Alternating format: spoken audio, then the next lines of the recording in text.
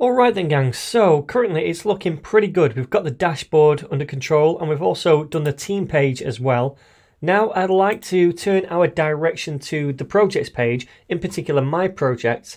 And on this page, what I'd like to do is list out all the different projects that are mine. So not like the dashboard where we list out every single project by every single person, but in my projects, I just want to see my projects, the Net Ninja. And then maybe if we click on one of those projects, it shows us the content and a little bit more about that project. Because on the dashboard, we don't have any content. We just have a title, person, due by, and the status. But on this page, I'd like to be able to click on a project and then it zooms down in some kind of toggleable state to show you more information. Now, the component that I'm going to do to achieve this is the expansion panel. So just type in expansion panel right here to view more about this.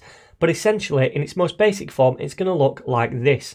So we have some kind of title over here and an arrow. And when we click on the title, it expands to show us more information. We can click again and it goes back to its normal state. So that's what we're going to do.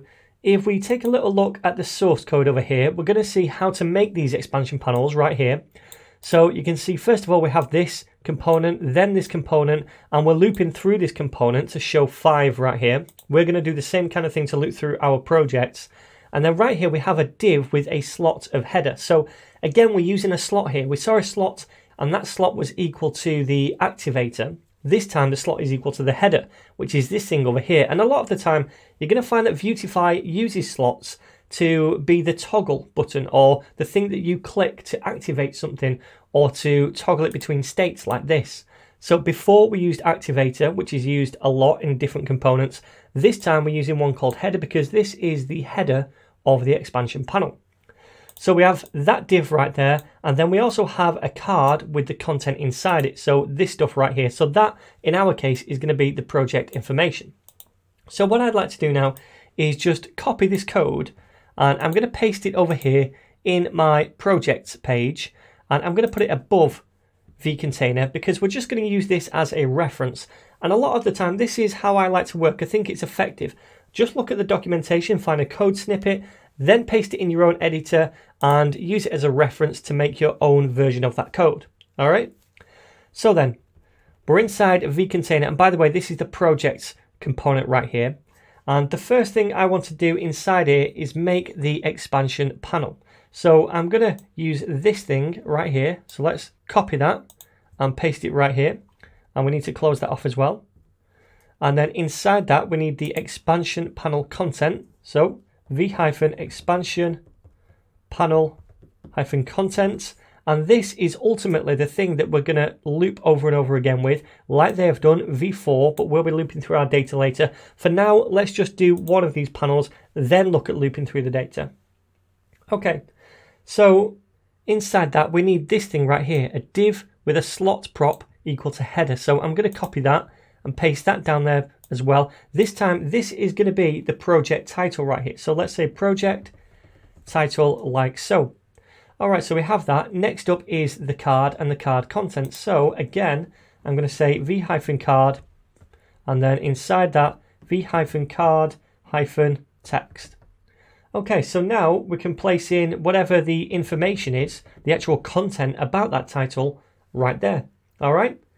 So we also want a due date. We don't just want the actual content, so we want a due date as well. When is the project due? So let's do that above the information. We'll say div, and then give this a class of font hyphen weight hyphen bold to make this bold. And then we'll just say by, you know, xx.xx.xx, whatever the date is. And in fact, let's put this in a div as well. So div and then info. So that's where the actual content is going to go in this div. So if we save this now, what I'd like to do is just get rid of this. We don't need this reference anymore. Save that again and view this in a browser. Let's see what it looks like. So I'm going to refresh over here.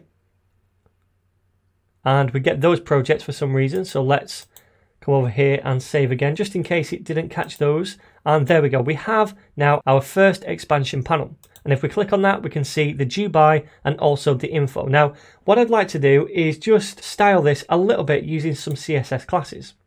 So first of all, I'd like to go to this card text and give this a class equal to px-4 just to give this some padding in the x direction left and right. And then also I want this to be grey text. So let's also say grey double hyphen text. Okay, save that. View that again. Okay, that's looking pretty good.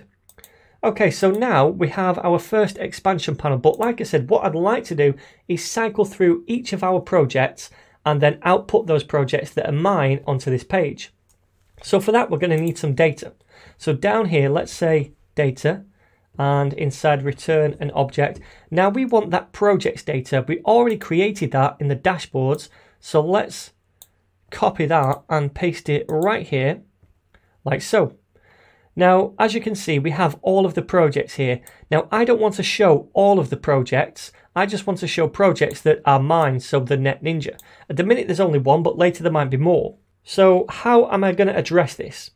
Well, first of all, I don't want to just delete these three because I might retrieve some data later and there might be more than just the Net Ninjas posts or projects rather in there.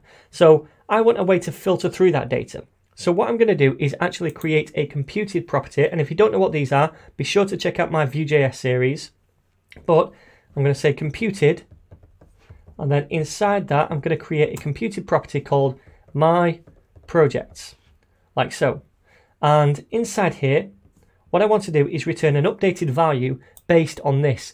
But before we do that, let's just go ahead and cycle through these just to make sure it works. Let's go up to this thing over here, the expansion panel content. And what I'd like to do is cycle through and do a v-for on each one of these things. So we have a new one for each item. So let's say v-for and set that equal to project in projects and then we need to bind some data to this on the key. And we'll just set that equal to the project title because that is unique after all. And then down here, instead, we can output the project title. So project.title. And then down here, we can output the due date. So project.due. And then down here, we can output the content, which is project.content. Okay, so save that view this in the browser. Now we can see all of these different projects. But like I said, these are everyone's projects, right? We don't want to output everyone's projects. We just want ours, which is why I'm creating this computed property. A computed property is going to look at some kind of data, can manipulate it, and then return an updated value based on that data. So instead of cycling through this eventually, we're going to be cycling through the updated version of this which I'm going to compute right here. And in here, I'm going to filter through these projects to find only those where the person is equal to the net ninja. So then, we need to return a value here. We're going to return this dot projects dot filter and the filter method just filters through an array to return an updated array and each time around we filter through this, we take in the project into a callback function. So this will refer to this, then this, then this, then this, as we cycle through the array. And inside that, we want to return either true or false. Now, if we return true, then that project is going to remain inside the filtered array. If we return false, then it's going to be filtered out of the array. So we want to return true when the person is equal to the net ninja. So we'll say return project dot person is equal to the net ninja, like so.